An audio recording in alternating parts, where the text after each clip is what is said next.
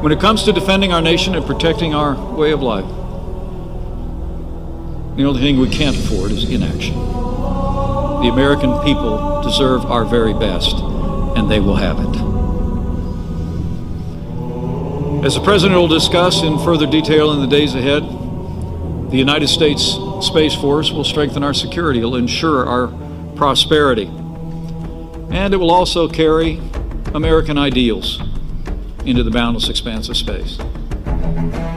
While other nations increasingly possess the capability to operate in space, not all of them share our commitment to freedom, private property, and the rule of law. So as we continue to carry American leadership in space, so also will we carry America's commitment to freedom into this new frontier.